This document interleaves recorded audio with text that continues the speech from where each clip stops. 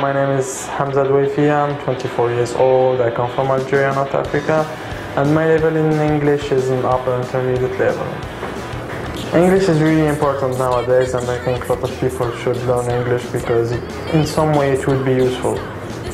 I wanted to, improve my English in uh, an English environment, so I can improve it very quickly and I chose San Diego because I'm Mediterranean so I like the beach. The first week when I when I started my course I was really surprised because the course is, is awesome. The teachers are good. I enjoyed the, the way we learn English. Yeah, this is the most not funniest but it's kind of funny sometimes. Yeah. Uh, every week we have different activities in the school. I go with my friends to have a volleyball game or soccer game.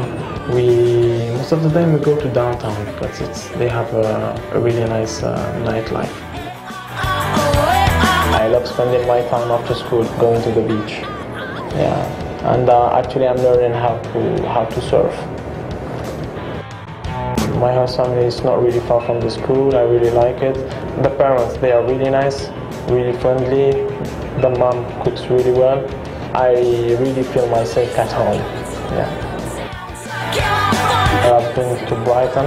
It was, it was good, fun in a way, but compared to EC, honestly, EC is better. Time, and I would recommend it for anyone else who wants to, to improve his English.